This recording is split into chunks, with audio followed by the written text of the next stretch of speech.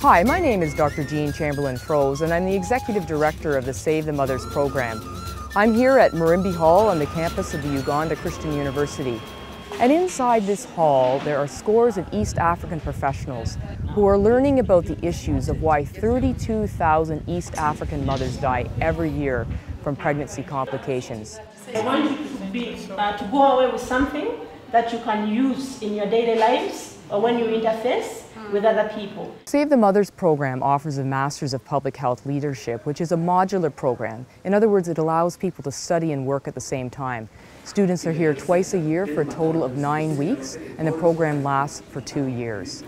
And then you study what are the factors that This program is different from other MPH program because of its leadership component. Students are not only taught about skills, but also they are taught how to bring change.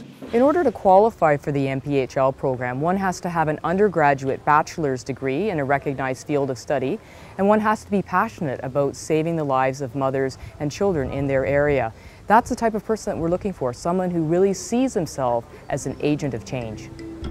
I'm a sign language interpreter professionally. I work with uh, deaf mothers in the community.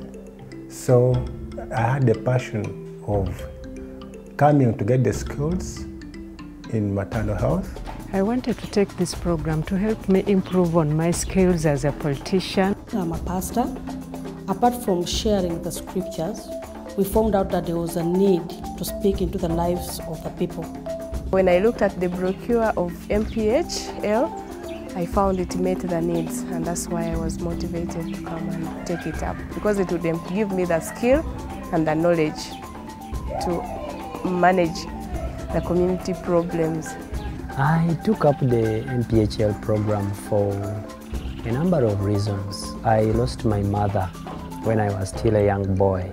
Everything changed. It was actually a changing point in my life.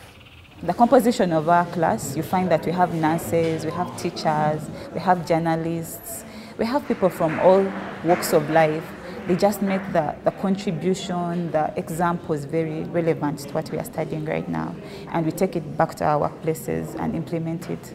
Students in the Save the Mothers program come from all areas of Africa, primarily East Africa, Uganda, Tanzania, Rwanda, Southern Sudan, but we also have had students from Nigeria, Malawi, and other countries.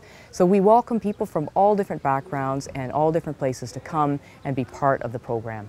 There's a building that's dedicated directly for the students. There's a place for them to stay upstairs. There's wireless internet. There's classroom space, all dedicated for the MPHL program.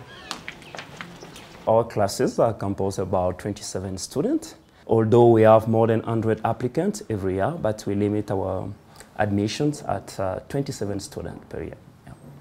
The program has the best lecturers, Ministry of Health, the gynecologists.